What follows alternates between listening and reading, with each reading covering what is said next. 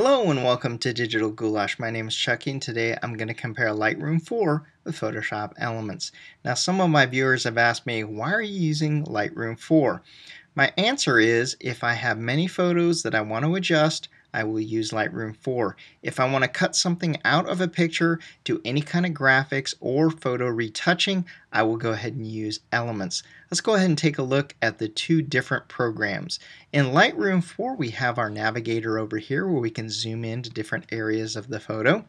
I have my presets which I'll cover later but you can turn your picture into a black and white or you can save any kind of adjustments that you've used before. At the bottom we have a photo bin we have a developer area where we can see where our picture is being adjusted, our histogram at the top, we have five tools, and then we have our adjustment sliders. Let's go ahead and go over the five tools. Those are the crop, the spot removal, the red eye, the graduated filter, and the adjustment brush. Let's go ahead and jump on over to Photoshop Elements right over here.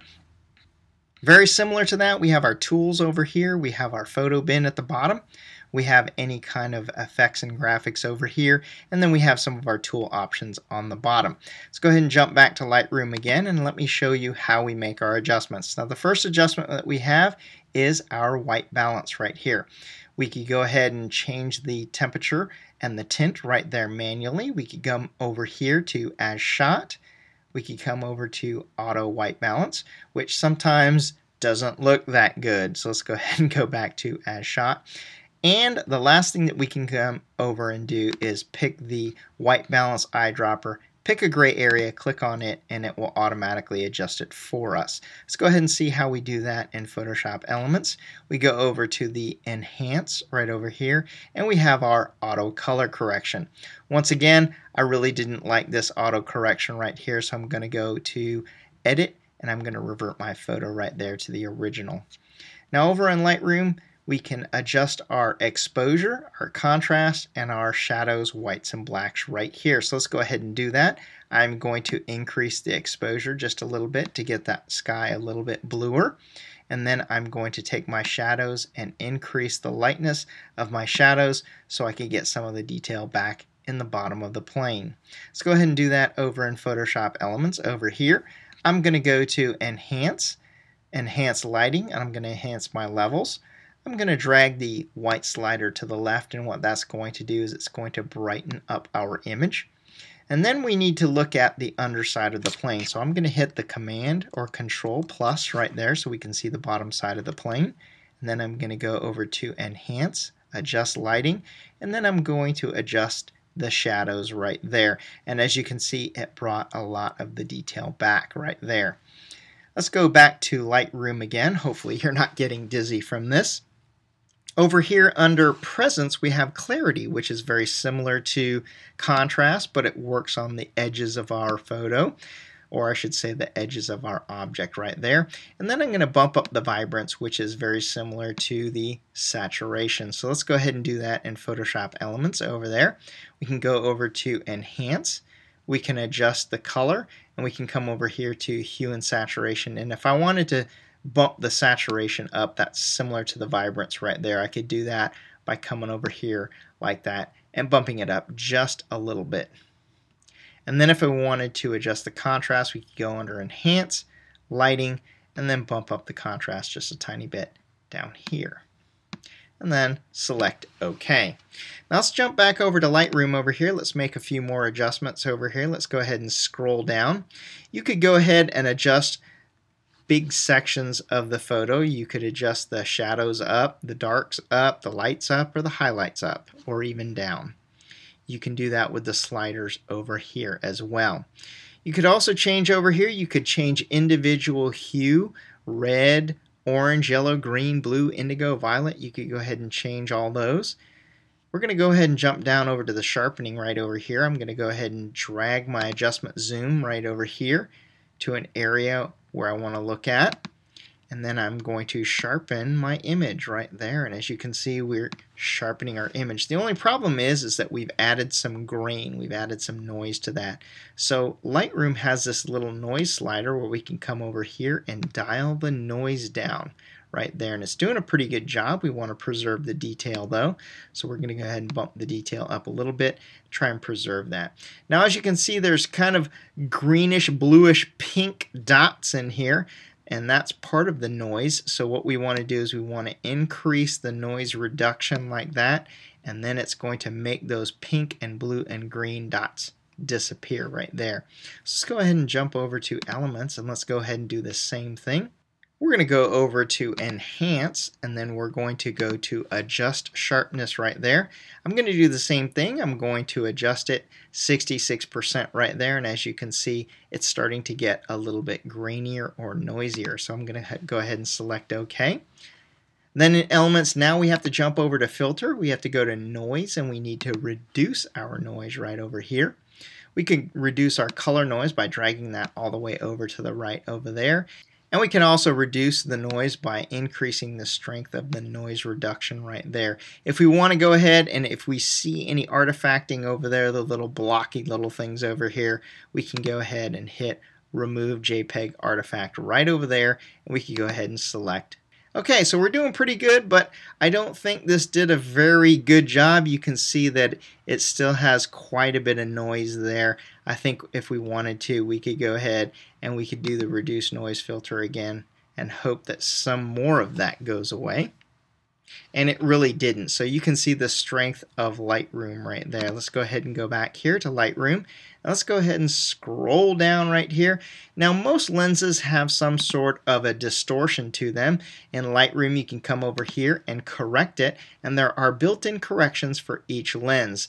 Now Elements has that, but you have to do it with an eyeball. You have to go over to Filter, we have to correct our camera distortion right there, and then if there's any kind of distortion, we have to eyeball it right up there. If there's any kind of vignette there, we could go ahead and correct for the vignette, the darkening of the edge. We could actually even put a vignette in there with the camera distortion. I know a lot of people like to put the added vignette in there and we could go ahead and we could select OK right there. We could hit Command 0 so you can see the edges right there and as you can see it's starting to darken the edges over there. Now I'm going to jump over to Lightroom over here and then I'm going to scroll down over here and I'll show you that you can fix the vignetting right here. Let's go ahead and go to fit right here. If there's any kind of vignetting, you could actually fix it right here, or just like in Photoshop Elements, you could just dial that down and put a vignette right down in here.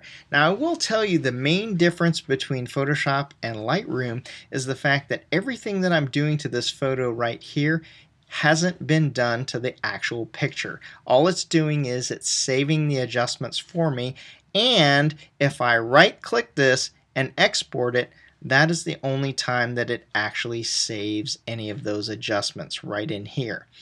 Another nice thing about Lightroom is, is that I fixed this photo right over here so I could keep the develop setting and copy it and copy all these settings right here and then come over to another photo right over here, right click that, go to develop settings and I can paste those settings onto this photo right here and as you can see it corrected it using the same adjustments as the other one. Let's go ahead and jump over to Photoshop Elements right there.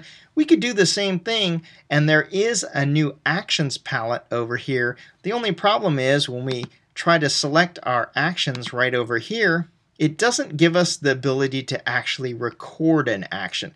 It'll allow us to play one, but not record one. So what you're relying on is somebody else making an action for you and then hitting play. So you would almost need somebody that has the full version of Photoshop to give you the actions so that you could use them.